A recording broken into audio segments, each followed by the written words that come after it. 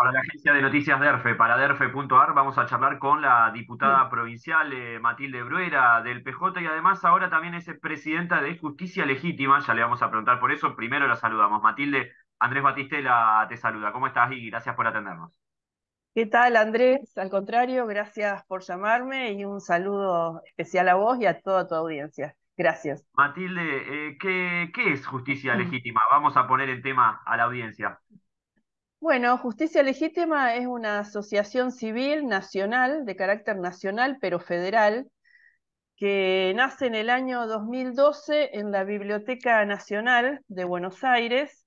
Eh, en el auditorio se hace una convocatoria de los integrantes del Poder Judicial. Yo participé en esa convocatoria como convocante y bueno, eh, acudió una gran cantidad, se colmó la Biblioteca Nacional de integrantes del Poder Judicial preocupados por la democratización de la justicia.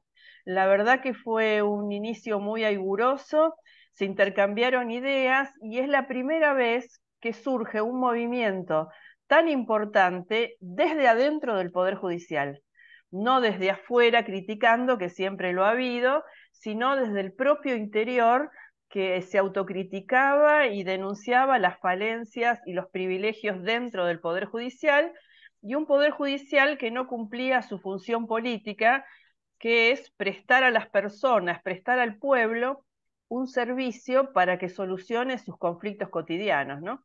Claro. El Poder Judicial, sí. No, digo, y, ya, ya me quiero meter en un tema que, seguramente vos te vas a explayar, pero es eh, normal que tengamos una Corte Suprema de cuatro miembros, todos hombres, y dos entraron por decreto. Claro, bueno, eso es, eh, en aquel año no, no, estaba ese problema, ahora se ha agravado la situación, porque realmente eh, yo creo que hay una anarquía en el Poder Judicial, porque la Corte no solo está mal integrado. No hay en todo el mundo, no existe una corte de cuatro miembros, y tan chica, ¿no? Y sin ninguna mujer, hay una vacante que no se cubre, deberían ser cinco los cargos que están vigentes, pero además no se reforma la, la Corte y ya a esta altura de la historia, mirando las estructuras de las Cortes Supremas de todo el mundo, esto es inadmisible es, tan inadmisible que no es opinable el número, no es una cuestión opinable. Si vos analizás la cantidad de causas que resuelve la Corte en un año, eh, tendrían que, los cortesanos tendrían que trabajar todos los días sin feriados, sin fin de semana, sin enfermarse y, 24 horas. Y creo que así más no llegarían, con lo cual es una falacia el funcionamiento de la Corte. Sin, sin, contar que además es una corte desprestigiada porque ha tenido fallos vergonzosos, ¿no? Vergonzosos. ¿Cómo cuál, Matilde? Y se inicia con el 2 por 1. Este, hoy, hoy que hablamos de negacionismo, esta corte se inicia con el, eh, el 2 por 1 y otro fallo que dice que este, los fallos internacionales de los organismos de derechos humanos relativiza que sean vinculantes. Esas dos cuestiones fueron tan vergonzosas que provocaron manifestaciones populares en todo el país y el Congreso tuvo que derogar el fallo de la Corte. Realmente es vergonzoso.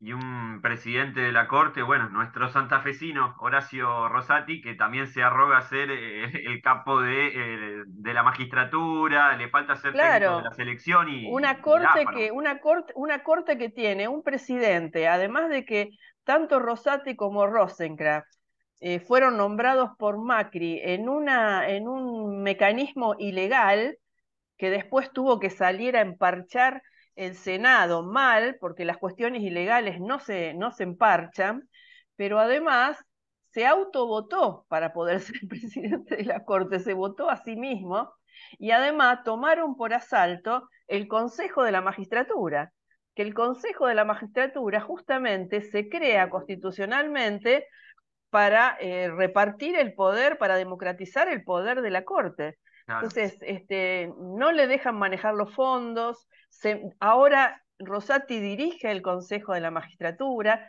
realmente es escandaloso. Bueno, uno de los fallos escandalosos para recordar es cuando la Corte eh, cambió una medida sanitaria sin opinión de ningún especialista sanitario. Por ejemplo, cuando habilitó las clases en la, en la ciudad de Buenos Aires. Y generó, si uno mira las estadísticas de crecimiento de la pandemia de COVID, tiene que ver con esta habilitación de las clases que hizo la Corte sin opinión, sin dictamen de especialistas médicos ni sanitaristas. Realmente es escandalosa esta Corte. Para algunas cosas rápidos y para otras tardan años y hasta décadas.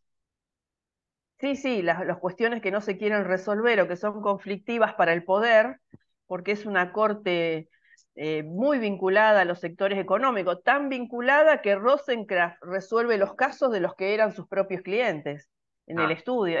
Eso no se ha visto nunca. Eso, por eso, a un juez de provincia de primera instancia, y lo está haciendo un miembro de la Corte.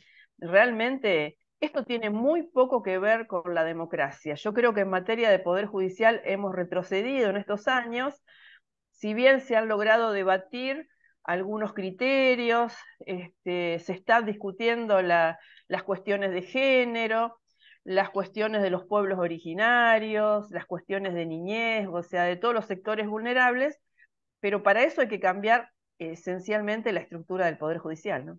Claro. Ahora, Matilde, para no quedarnos solo en el diagnóstico, ¿qué, qué pueden hacer ustedes eh, desde adentro mismo del Poder Judicial, como nos decías hace un rato, para revertir esta situación? Eh, la, Asociación Justicia Legítima hoy está integrada con más espacios que el Poder Judicial. Hay organizaciones sociales, organizaciones de derechos humanos, todas van acercando proyectos, propuestas y debatiendo. Y em, hay cuestiones esenciales, por ejemplo, en materia de género, no solamente introducir mujeres, sino que las mujeres lleguen a los cargos superiores, pero que sean mujeres feministas, porque si no estamos en la misma. Este, después, hay que cambiar eh, el función, bueno, la corte, por empezar hay que cambiar la corte. Hay que modificar el Consejo de la Magistratura. También hay proyectos y debates para cambiar el Consejo de la Magistratura. Hay que reforzar, en mi opinión, que yo desde ahí vengo, así que conozco mucho ese tema, hay que reforzar la defensa pública, porque la defensa pública es el instrumento de democratización de la justicia. Para que las ustedes saben que además la justicia es cara y la gente casi, casi no conoce que existe una defensa pública a la que puede acudir gratuitamente y mm, que esa defensa es confiable porque tiene el deber de confidencialidad, igual que cualquier abogado particular, pero claro, es cierto que es una defensa que no tiene los recursos suficientes. Este, pero bueno, por eso planteamos reforzar la defensa pública, entre otras cuestiones, imponer el modelo acusatorio, ¿no? que, que los jueces tengan funciones eh, distintas que los fiscales, que los fiscales acusen y que sean los que investigan y acusan, y los jueces los que deciden este, este, imparcialmente de acuerdo a lo que resulte del debate de fiscales y defensores, ¿no? Claro. Bueno, son muchas. A mí me tocó participar del consejo, del debate que hubo en el Consejo Consultivo que en su momento convocó el actual presidente, Alberto Fernández. Alberto Fernández empezó su gestión con esto, pero bueno, ahí hubo propuestas, hubo propuestas mías y de otros integrantes de Justicia Legítima, pero bueno, no hemos tenido suerte. Y es cierto que durante el macrismo hubo una gran persecución a los jueces democráticos y una de las asociaciones que sufrieron mucho persecución y descalificación fue Justicia Legítima, ¿no? Sí, eso, eso te iba a preguntar ahora, porque yo ahora seguramente cuelgo este video en YouTube y me va a aparecer algún comentario que diga los kirchneristas tal cosa, justicia legítima no sé qué, cómo, cómo conviven con eso y cómo también eh, trabajan sobre esta demonización que han sufrido. Bueno, hablando, explicando y mostrando acciones. Yo creo que nada, no tiene nada que ver con una afiliación y justicia legítima, al contrario, hay una cantidad, por eso digo que fue muy amplia aquella convocatoria, hay una cantidad de, de jueces, lo que sea, a todos nos une una mirada democrática. Este, todos tienen su posicionamiento político, porque si no, no serían seres humanos. El que no tiene un posicionamiento político es un marciano. Pero claro, no existe, no existen jueces neutros, pero neutros en su función, por supuesto, independientes e imparciales. Pero hay de distintos, distintas visiones políticas y no, no, no es partidario de ningún lado. No se puede decir lo mismo de la Corte. a, los que tanto les preocupa justicia legítima tendrían que fijarse que la Corte es absolutamente partidaria del grupo de poder. No, justicia legítima es demonizada porque justamente cuestiona el funcionamiento de, del Poder Judicial. Por ejemplo, si hay algo que exigimos, es bueno que se esclarezca lo del agua escondido. Los que se animan a hablar de la imparcialidad de los jueces, que esclarezcamos lo del agua escondido, ¿no? Sí, que esclarezcamos lo... el tema Insaurralde, una vergüenza, por cierto, pero este, en, los chats, en los chats del agua escondido hablaban de chicas también. Ah, mira vos, eso no me había fijado. Sí. bueno, este, ya desde sí fue una excursión pagada por alguien poderoso económicamente y que tenía intereses vinculados a las intervenciones judiciales de cada uno de los que invitaron. Eh, bueno, eso no es la primera vez que hay un lago escondido, ¿no? Eso suele suceder. Bueno, teníamos jueces de casación que van a jugar, iban a jugar al tenis y al fútbol con Macri. Este, eso también es inadmisible. ¿Quién puede hablar de justicia legítima? El juez este... ahora que estaba pescando, este, que el buitre. Ah, claro, bueno, que estaba pescando no sé con quién. Bueno, esas cosas, eso tiene que desaparecer del Poder Judicial. Realmente esos manejos de poder tienen que desaparecer. Por supuesto que esos manejos tocan intereses y por supuesto que justicia legítima que los pone en evidencia y los discute, así como el Laufer, eh, va a ser este, criticada, perseguida, etcétera, etcétera. Pero bueno, este, las organizaciones son así y yo creo que es muy necesario que exista una asociación nacional, pero a su vez muy federal, eh, que, que, se ocupe de estos temas. Y en este caso es la primera vez que alguien del interior, alguien de una provincia, ocupa la presidencia nacional de justicia legítima.